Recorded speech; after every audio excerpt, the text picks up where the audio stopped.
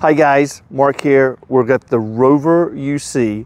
I'm here in Germany at OKM's headquarters in Altenburg. We're going to take the Rover UC and we're going to do a scan analysis in the field. What you see here is a test field that has a target buried in it. So what we're going to do is a scan analysis in the test field. You're going to see what it looks like on the smartwatch that's used to operate the Rover UC. And then after we finish the scan, you see it on the smartwatch. We're going to take it in, transfer it to the laptop and look at it in Visualizer 3D. Then we're going to show you what is under the sand. The objective is to help everyone understand what something looks like on the Visualizer 3D and what it looks like potentially underground. So we're going to do everything from the beginning, the scan analysis, all the way to the end, what the target looks like. Here we go.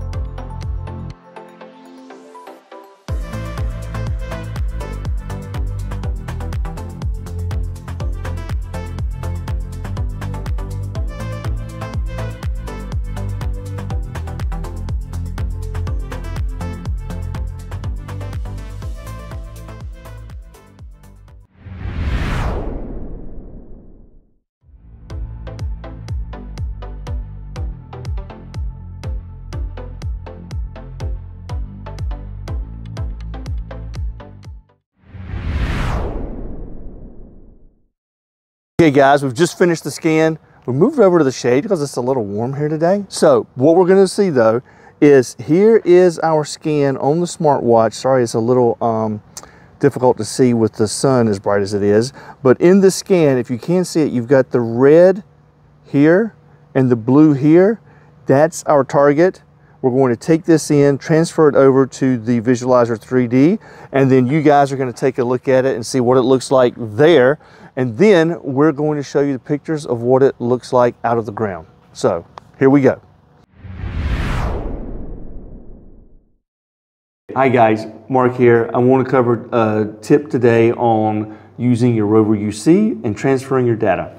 With the Rover UC, you have a smartwatch that contains the app and when you're operating the Rover UC, you're doing it with the smartwatch. When you want to do your transfer, your data transfer, it's the smartwatch to the laptop, not the Rover UC to the laptop. That's really important to understand whenever you're um, using your system for the first time. Is the, the device is paired with the smartwatch, and the smartwatch is paired with the laptop. If you try to pair the device with the laptop, you're not going to get the results you're looking for. So it's always important to remember that the smartwatch just like on the desktop, is always between the laptop and the device. Hi guys, we've just finished transferring the files from the Rover UC smartwatch over to the laptop. We're looking at it in our Visualizer 3D Studio and you can see what you've got here. This is your entire scan field. This is where we started scanning here. And based on what we're seeing, we've got a very strong red signal and a very strong blue signal, which is indicative of a ferromagnetic target. So with that, that's telling me, okay, that there's something magnetic, like iron, um, and we know that in this case, that the pipe is made of iron.